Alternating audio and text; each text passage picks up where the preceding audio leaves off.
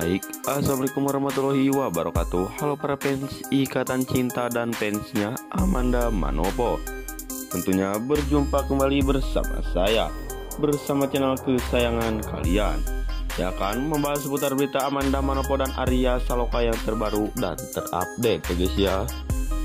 Kabar hari ini. Ketika para Sakila ulang tahun di sinetron Ikatan Cinta Chef Juna tak sengaja bocorkan proyek baru Amanda Manopo dan Arya Saloka. Penasaran seperti apa yuk simak videonya sampai selesai. Oke guys, tapi sebelum lanjut ke dalam isi pembahasan, alangkah baiknya kalian semua tekan dulu tombol subscribe dan jangan lupa nyalakan lonceng notifikasinya. Agar bertujuan kalian semua tidak ketinggalan kabar terbaru dan terupdate dari channel ini. Karena channel ini akan selalu membahas video terbaru dan terupdate seputar Amanda Manopo dan Arya Saloka tentunya guys ya. Oke guys, tonton video ini sampai selesai agar tidak terjadi kesalahpahaman di antara kita nantinya. Dilansir dari Tribun Batam ID, sinetron Ikatan Cinta tampaknya mulai ditinggalkan para penontonnya apalagi mengingat Arya Saloka yang kunjung kembali ke Ikatan Cinta.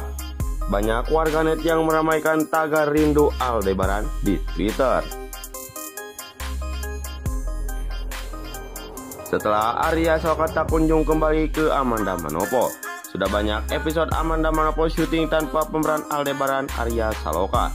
Benarkah Arya Saloka telah pamit dari Ikatan Cinta? Sebelumnya, Arya Saloka sebetulnya sudah memberikan kode kepada penonton soal nasibnya di Ikatan Cinta. Hal ini terungkap di akun Instagram pribadinya saat Arya Saloka melakukan live Instagram. Arya Saloka mengatakan jika ia akan kembali ke Ikatan Cinta, Arya Saloka bahkan berjanji akan kembali ke sinetron Ikatan Cinta. Ia juga berpesan kepada pemeran Riza Binyo Rombot untuk menjaga Andin Amanda Manopo rumahnya di Ikatan Cinta.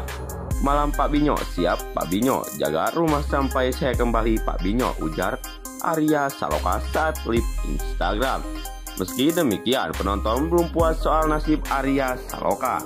Pasalnya, beredar rumah pula Arya Saloka bakal menghengkang dari ikatan cinta sinetron yang membesarkan namanya itu. Yang pasti kehadiran Arya Saloka di lokasi syuting Ikatan Cinta sudah dinanti-nantikan. Tak cuma penonton, tapi juga para pemain. Belum kembali di Ikatan Cinta, Arya Saloka ternyata kini menekuni profesi lain. Ia membangun channel YouTube bersama sahabatnya Adi Sastro. Arya Saloka dan Adi Sastro pun membentuk duo yang dinamakan Asloro. Namun sampai kini belum diketahui bagaimana isi konten YouTube Asloro Rantaran masih dalam proses liris. Adi Sastro dan Arya Saloka pun beberapa kali mengungkap bocoran proyek kolaborasi mereka sebagai YouTuber. Sementara itu, sejumlah warganet mengaku sabar menonton konten YouTube Arya Saloka dan Adi Sastro. Arya Saloka sampai kini tak kunjung kembali ke sinetron Ikatan Cinta. Bahkan, alur cerita Ikatan Cinta sampai dimajukan 18 bulan untuk mengkomodir jalan cerita karena ditinggal pemeran Aldebaran. Oke guys, mungkin itu saja artikel yang bisa saya sampaikan. Jika kalian suka dengan video ini, jangan lupa tinggalkan pendapat kalian di kolom komentar. Saya mohon pamit undur diri. Wassalamualaikum warahmatullahi wabarakatuh.